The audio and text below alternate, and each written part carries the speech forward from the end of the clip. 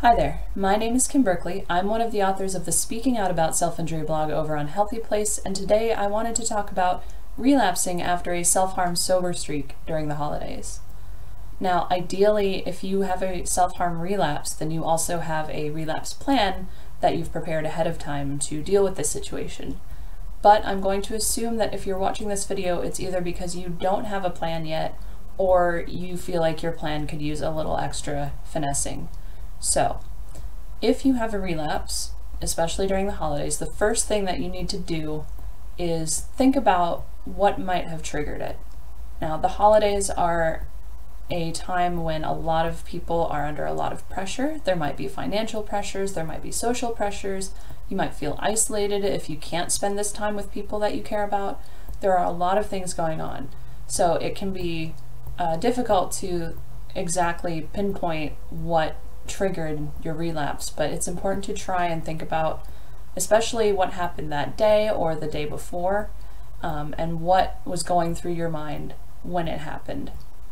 Because this will help you uh, not only deal with this relapse, but help you prevent future relapses because you can think about ways to either avoid that trigger if you can or find better ways to cope with it next time it comes up.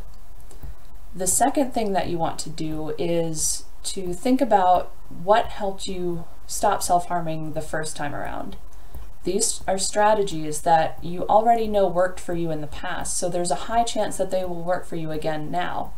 Um, and so these are a really great place to start when trying to get back on your feet after a relapse. The third thing you want to do is reach out to somebody. Um, if you have a mental health professional that you can talk to, a counselor or a therapist or anybody like that, um, this is a really great person to reach out to and get some support and talk about what happened and why it happened and what you can do to get back on your feet and to prevent it from happening again in the future. Um, if you don't have somebody like that or you don't feel comfortable finding somebody like that right now, uh, you can also just reach out to a trusted friend or family member, somebody who knows what you're going through and can help give you a little moral support during this time because any kind of extra support that you can get right now would be really helpful in not just coping with this, but also uh, recovering more quickly and more effectively. Finally, I want to remind you that this is not something that you should blame yourself for or shame yourself for.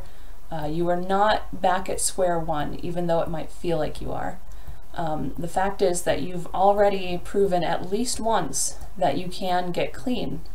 And so all you need to do now is think about what helped you do that in the first place and then just put a few more strategies in place to try and avoid what happened this time from happening again. Recovery is not a straight road. There are a lot of twists and turns and it's very normal to have a relapse. Obviously, it's better to avoid it if you can, but it's not a sign of failure or weakness if you can't. So, most of all, just remember that this is not the end of the road. It's just a minor detour. So yeah, thank you so much for watching. I hope that you found this video helpful. If you have any questions, comments, or concerns, as always, please leave a comment on the blog and I will get back to you as soon as I can. Otherwise, I will see you in the next video. Until then, take care and happy holidays.